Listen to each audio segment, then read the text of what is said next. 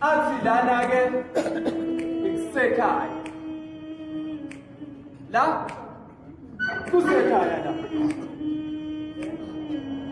imvelaphi yakho awuyikhethelanga qala manje uyiqathe ngalelo bala msukulu muhle omnyama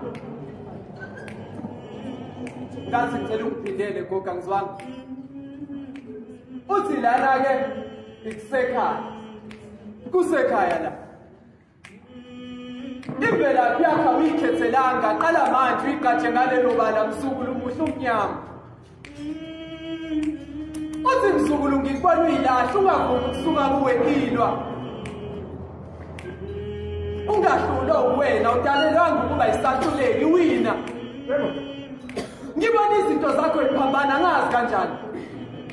Ukuba kwenye indlu la ekhaya ukukhula kwempakamo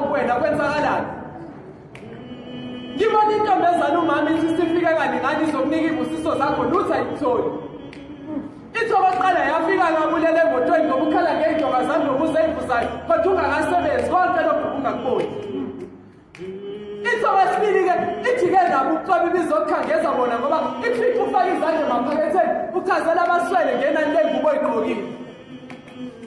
Okwesithathu iphindele nawe ebumva umshadi iqhaqhazela ubone ukuthi lo muntu uthukile uma bebuzwa ogogo ukuthi kwenze